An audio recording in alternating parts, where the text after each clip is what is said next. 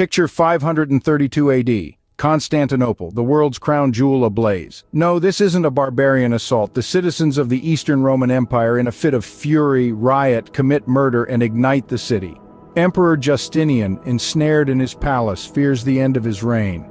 He's yielded to the mob, dismissing his most detested officials. Yet the crowd hails a new emperor, Hypatius. It's Empress Theodora, his wife, who instills the courage to act, and his trusted general Belisarius, who he entrusts to quell his adversaries and salvage the regime. Amid centuries of imperial crisis, Justinian's reign will witness a Roman resurgence previously thought unimaginable. Grand victories over the barbarians, the retaking of Rome, the empire's reunification.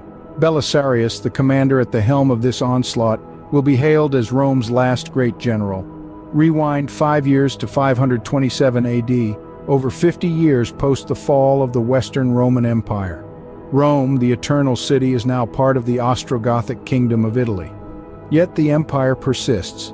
The Eastern Roman Empire continues to be a formidable force. An estimated 30 million people live under the emperor's rule in Constantinople, his dominion stretching from the battered Balkans to Egypt, the Arabian desert, and the mountains of Armenia. This Christian empire, unrivaled in administrative sophistication, economic prowess, and military might, endures. But Justinian, the new emperor, is met with formidable challenges. In 527, succeeding Justin, his uncle and adopted father, Justinian, becomes the first son to ascend to the throne in over a century.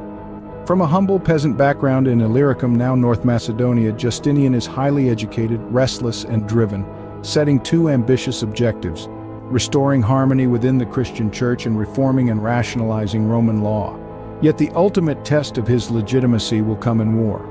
For now, Justinian maintains good relations with the Vandals in North Africa and the Ostrogoths in Italy. The Balkan frontier demands constant attention. The successors to Attila's Hun Empire are never quiet for long. But it's in the east that Justinian faces his most immediate challenge, the Persian Sassanid Empire, a rival superpower of the Middle East.